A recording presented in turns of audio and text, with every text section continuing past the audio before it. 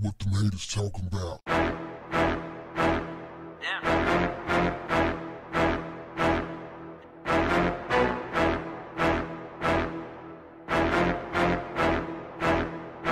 What's up, family? According to her death certificate, beloved Good Times star Janae DuBois died of cardiac arrest.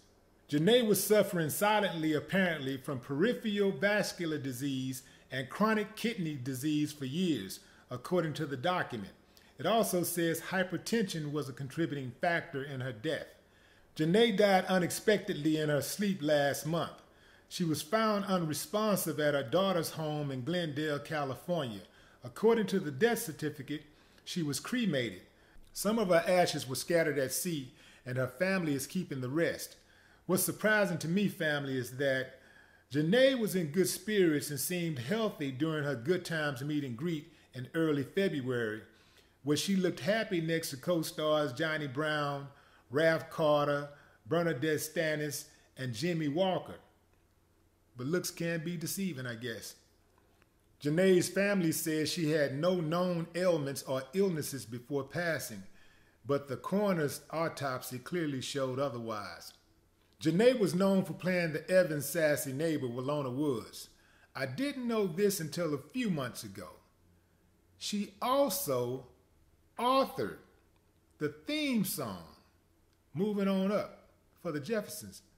She wrote and sang that song all that time. How could they keep something like that so quiet? She would definitely be missed. Bunch of laughs. She put a lot of smiles on people's faces. And hey, we got the box set, so it's out there. If you haven't seen Good Times, you're missing a treat. Do yourself a favor and check it out. In other news, more sad news coming out of California. Josie Harris, who has three children with Floyd Mayweather, was found dead at her home in Valencia, California on Tuesday night. Law enforcement sources say officials were called to the home around 9:30 p.m. and when they arrived, they found 40-year-old Harris unresponsive in her car. She was pronounced dead at the scene. It's reported that there doesn't seem to be any signs of foul play and that the case is being investigated as a death investigation as opposed to a homicide. 40 years old. Man, that is young. So there doesn't seem to be any sign of foul play, which suggests that there may have been something going on with her physically Maybe she was suffering from some type of ailment that she didn't know of. Family, take care of yourself, especially with this coronavirus going around. You gotta take care of yourself. Fortify your body with exercise, eating right, and vitamins.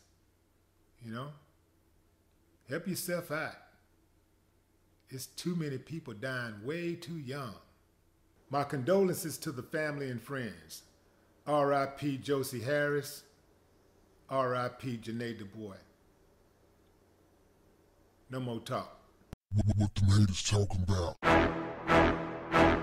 Yeah.